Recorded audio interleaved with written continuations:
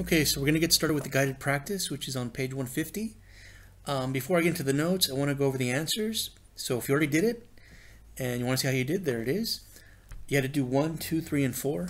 The answer for number 1 is 19 and 2 tenths. Number 2 is 1 and 21 hundredths. The answer number 3 is 11. And the answer number 4 is $10.50.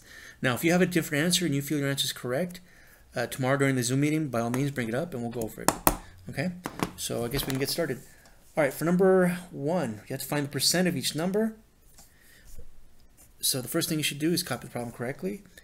It says find 32% of 60. All right, I'm to go ahead. I've been doing fractions, percentages as a fraction. I'm to try it as a decimal this time. All right, so 32%, I'm to rewrite it with a decimal point instead and take out the percentage. Symbol, right, decimal point. Move that to the right start to the left, two spots, one, two. So now I have 0.32 of 60 and of, as you know, means multiply. Right, so you're just going to go ahead and do the math. 60 times 0.32. Okay. 0 and 32 hundredths has three digits, but I really don't count the zero, so I think of it as two digits and two digits. Doesn't matter which one I put on top or bottom, it's going to be the same. But that's just my way. You can do it differently, obviously. When you multiply, the order doesn't matter. 2 times 0 is 0. 2 times 6 is 12. Again, digit by digit. Place value by place value. All right, 3 times 0.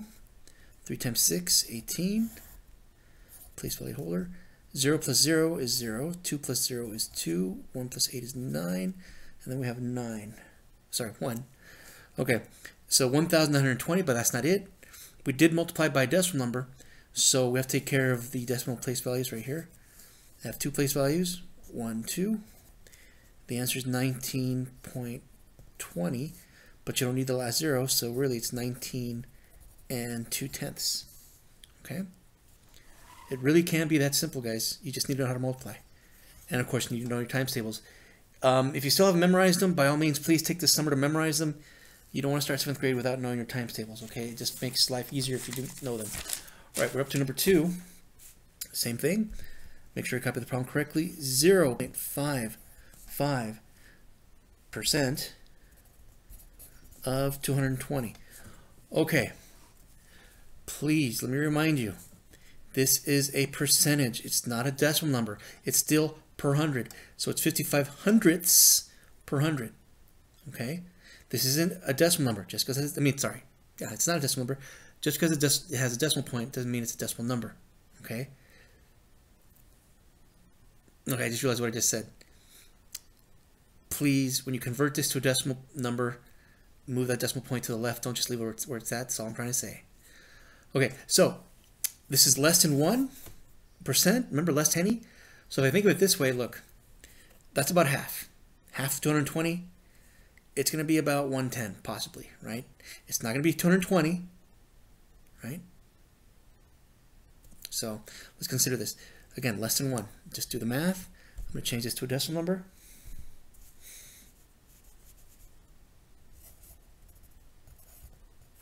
Take away that percentage symbol.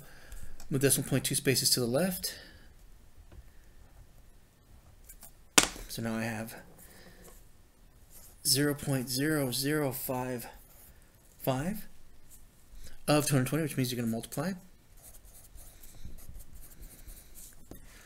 Oh boy, okay, now, why am I saying that? I have one, two, three, four, five digits here, three digits there. Now, I could put this on top, right, and this on the bottom when I multiply. But like I said, I don't like to count the zeros because zero times anything is going to be zero anyways. So I'm really just counting the non-zero digits. So that's just two digits. So I'll put 220 on top and the rest on the bottom. Now what I'm going to do, I'm going to write it very carefully because I have to line up the digits. 5, 5, 0, 0, 0. I'm trying to keep it as neat as possible. Again, it's not a race. Take your time and do this right. Okay, 5 times 0, 0. 5 times 2, 10. Carry the 1. 5 times 2 is 10, plus 1 is 11. All right, so far so good place value holder. I'm done with this place value. Next one, it'll be the same thing. So 0, 0, 1, 1. I'm not going to bother multiplying by zeros because I'm just going to have a bunch of zeros down here. It'll just get confusing. Okay, so let's just have what we have. Let's do it with what we have. 0 plus 0 is 0. 0 plus 0. 1 plus 0 is 1. Again, consider let's count the place values. I have 1, 2, 3, 4. 1, 2, 3, 4. Okay, look at that. The answer is 1.21. Okay. Now, before we move on, I just want you to think about what we just did. Okay. 1.21. Think about this way.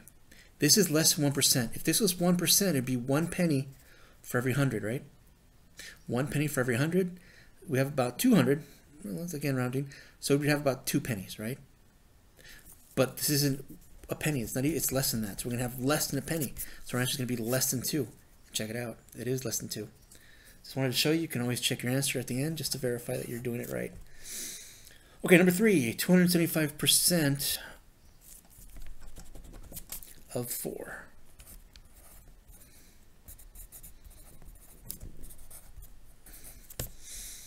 Okay, this is more than 100% more than 100%. So that means our answer is going to be more than this.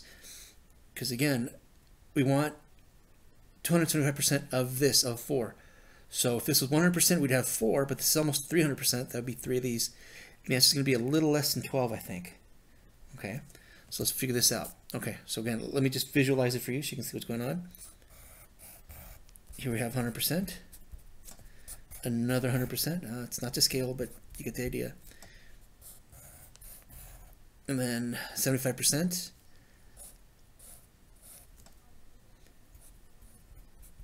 Which is about 3 fourths. Well, it is not about, it is 3 fourths. Okay, so let's think about this. This would be 4, this would be 4. And if this whole thing is 4, but I only want 3 of them, right, because each one is 1, I only want 3 of them, this is 3. I think, I'm pretty sure the answer is going to be 11. Okay, so let's think about this. What did I just do? 275%. That's the same as 100% plus 100% plus 75%.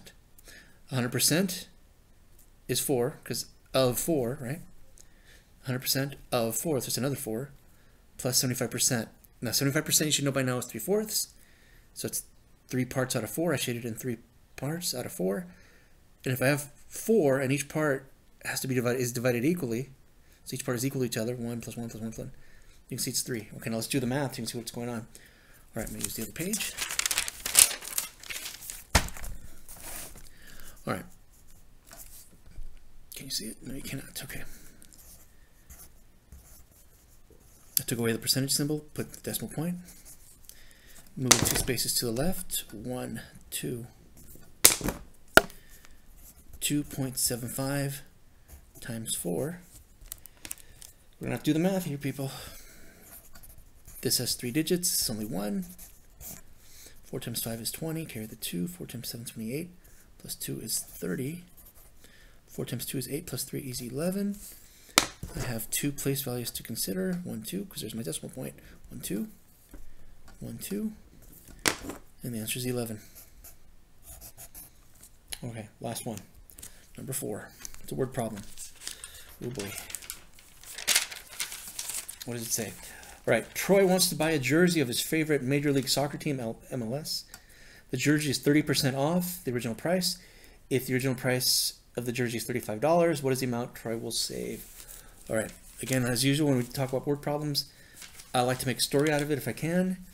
All right, so we're talking about a shirt, which is what a jersey is. It's one of those sport, it's a sports shirt, think of it this way. I'm sure you've seen people wear jerseys. Okay, drawing it like a shirt because that's what it looks like. That's what I think of baseball jersey actually, but yeah, it's okay. All right, the jersey again, jersey, and we're talking about some guy. I'm assuming it's a guy, a guy named Troy. He's buying this shirt. All right, so he wants to buy a shirt that's on sale. Okay, so all right. Usually I just draw one bar. I'm going to draw two bars just so you can see something. Okay. 100%. You know, I'm going to draw this on the other side because I don't like how that's scrunchy. That just looks a little dirty. 100%. That's full price. And at full price, it is $35, if I got this right. Okay. All right. It says we're going to take 30% off the price. Just gone. We're going to take this off. We're only going to pay for this much. We're only going to pay for 70%. Okay? So the question then is, well, I just realized I wrote percent twice. The question is, how much are we saving? It's not asking how much the price of the shirt is. It's asking how much are we saving. So this is what we're going to pay. What we're going to save. So the question is, how much are we saving? Right? Yes, or I just put the answer there, but that's okay. You know, I'll just leave it there. How did we get that? Okay. How did we get that answer? Well, here's the, here's the deal. Okay. I'm it anyways. It just bothers me a little bit. We want to know what 30% of 35 is. How much? What's 30% of that? Okay. So 30% of 35. All right. I'm just to go ahead and change it to a decimal point. Rewrite it with a decimal point. Sorry. I misspoke. I'm going to change this to a decimal number. I don't know why I said decimal point. All right. 0 0.30 times times 35. Let's do the math.